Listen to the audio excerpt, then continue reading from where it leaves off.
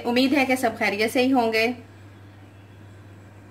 आज जो रेसिपी हम आपके लिए लेकर आए हैं, वो है आलू की पूरी।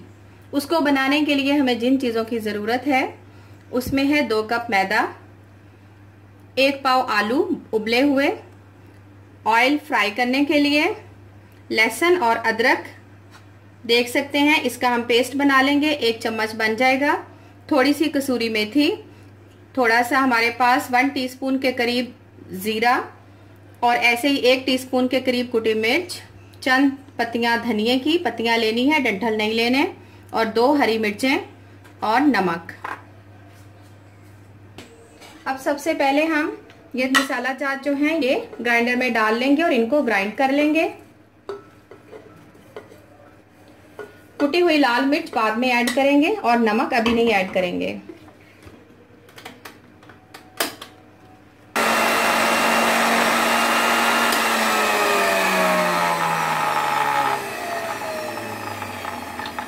थोड़ा सा हम इसमें पानी ऐड करेंगे।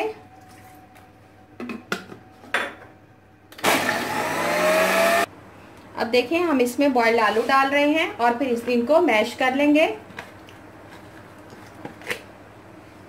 आपके सामने हम ग्राइंडर को ऑन करेंगे।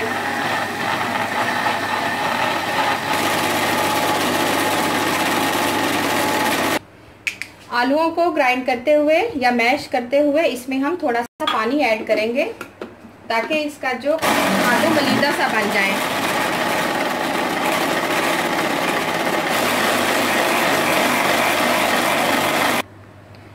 अब देखिए हम इसमें नमक ऐड कर देंगे और इसको थोड़ा सा और चलाएँगे।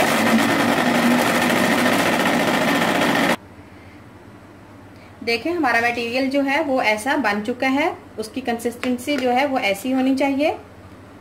आपके पास अगर ब्लेंडर ना हो तो आप इसको आलू को मैशर के साथ भी कर सकते हैं, या हावन दस्ते में सिलबट्टे में, कुंडी डंडा जो भी आप इस्तेमाल करना चाहें, वो कर सकते हैं। अब हम इसी मटेरियल से आटा गूंदेंगे इसका, इसमें पानी ऐड नहीं करेंगे। अगर आपका मटेरियल कुछ ज़्यादा हो और आटा कम लगे आपको, कि आटा पतला है तो आप जो है आटा थोड़ा सा और ऐड कर सकते हैं। ज़रूरत पड़ने पर हम इसमें थोड़ा सा ऑयल भी शामिल करेंगे, एक या दो। खुशका लेंगे और इस आटे को थोड़ा सा यूँ मसल के इसके छोटे छोटे पेड़े बना लेंगे जितनी हमें पूरी चाहिए। खुशका लेकर जब तक हमारा तेल गर्म हो रहा है, हम इसको बेल लेंगे।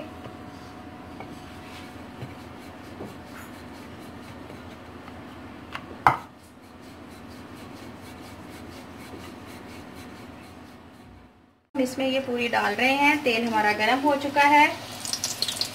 इसमें हम स्टील का चम्मच यूज़ करेंगे। देखिए हमारी पूरी, माशाल्लाह कितनी अच्छी फूल रही है। इसके ऊपर हम यूँ ऑयल डालते जाएँगे।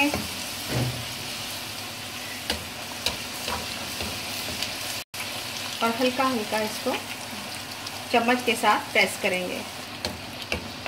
देखें, हमने इसको टर्न कर लिया। आप दूसरी साइड को आसानी से देख सकते हैं।